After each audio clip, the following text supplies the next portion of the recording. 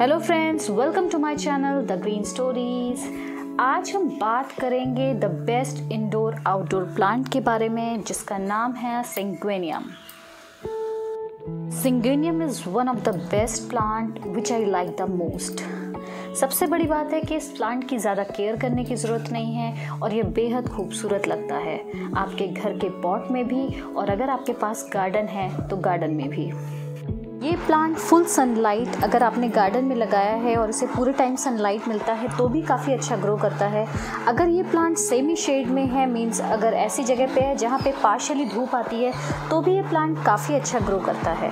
और अगर आप इसको घर के अंदर डेकोरेट करना चाहते हैं, जहाँ पे प्रॉपर लाइट नहीं आती है तो आप इसे घर में भी रख सकते हैं और वीक में एक बार आप इसको ज़रूर धूप में रख दीजिए, एक दो दिन के लिए, ताकि उसे प्रॉपर सनलाइट मिल जाए। ये प्लांट एक फास्ट ग्रोइंग प्लांट है। काफ़ी तेज़ी से बढ़ता है ये, काफ़ी अच्छा ग्रो करता है। और इस प्लांट को कॉमनली हम एरोहेड कहते हैं, क्योंकि इसकी जो लीव्स हैं, उसके ऊपर कुछ एरोहेड टाइप के आपको मीन्स प्रिंट दिखेगा, जिसकी वजह से इसको हम एरोहेड के नाम से भी जानते हैं। ये प्लांट आपको बहुत सारे शेड्स और कलर्स में देखने को मिलेगा। Specially green colour neon colour white colour and pink colour and red also ये बहुत ही कॉमन कलर्स हैं सेंगवेनियम की जो आपको लगभग हर जगह देखने को मिलेगी।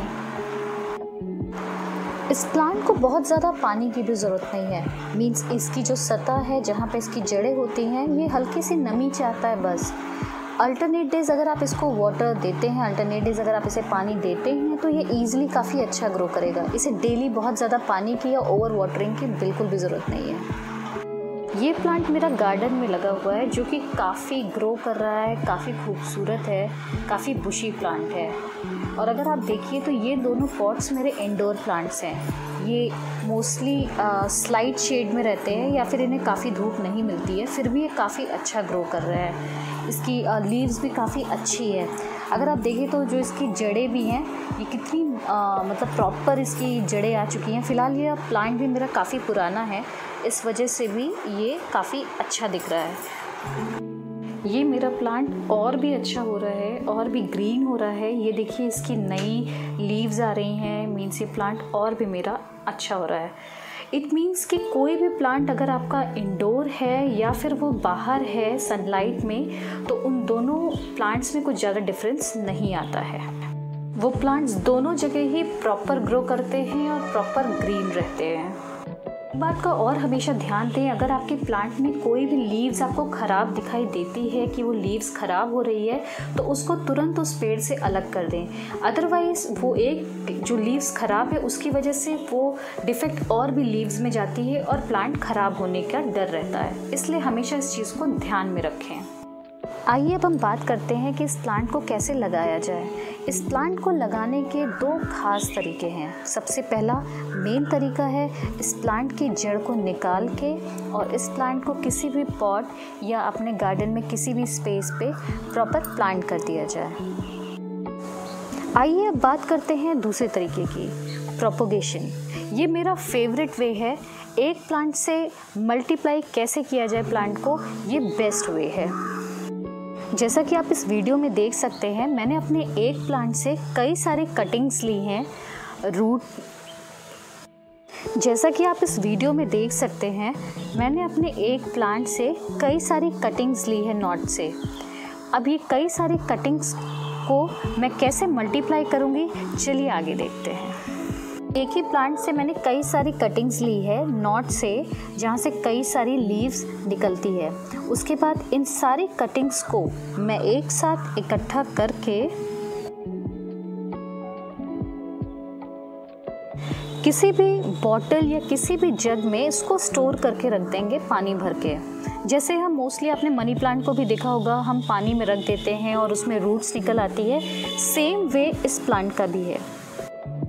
इन सारी कटिंग्स को मैं इस बॉटल में रख के रख दूँगी। और फिर मैं कुछ दिन बाद लाइक थर्टी डेज़ और फोर्टी फाइव डेज़ बाद इसको चेक करूँगी कि इसकी क्या पोजीशन है। मींस इसमें रूट आए प्रॉपर या नहीं आए। एक प्लांट को कई प्लांट्स में मल्टीप्लाई करने के लिए हमें थोड़ा इंतज़ार तो करना ही पड़ेगा। तो इसको अगर आप किसी भी जग या बॉटल में रख के अपने घर के किसी भी कॉर्नर में भी अगर डेकोरेट करेंगे तो ये काफ़ी अच्छा लगेगा। ये देखिए मेरा ये प्लांट कितना अच्छा लग रहा है इस बॉटल में। आप देख सकते हैं मेरे इस प्लांट को 45 डेज़ रखने के बाद मेरे इस प्लांट में कितने प्रॉपर रूट कितने अच्छे से रूट निकल आए। मीन्स मेरा एक एक जितनी भी कटिंग्स थी, जितनी भी मेरी कटिंग्स थी सारी कटिंग्स में प्रॉपर रूट आ गई है। इट मीन्स कि मेरा एक प्लांट कितने प्लांट्स में मल्टीप्लाई हो गया है। तो ये एक बहुत ही अच्छा वे है। अगर आपने एक प्लांट्स को कई सारे प्लांट्स बनाने हैं तो ये बहुत ही अच्छा वे है। आपको 30 डेज़ टू 45 डेज़ या हो सकता है उससे ज़्यादा दिन भी लग जाएँ, लेकिन इसमें बहुत अच्छी रूट आपको दिखाई देने लग जाएगी। प्लांट को प्रोपोगेट करके एक प्लांट को मल्टीप्लाई करना एक बहुत ही अच्छा तरीका है और ये काफ़ी अच्छा भी लगता है। इसका जैसे आपने कभी मनी प्लांट को भी शायद बॉटल में रखा होगा अपने घर में, सेम उस तरीके से ही आप इस प्लांट को भी बॉटल में रख के अपने घर को प्रॉपर डेकोरेट कर सकते हैं।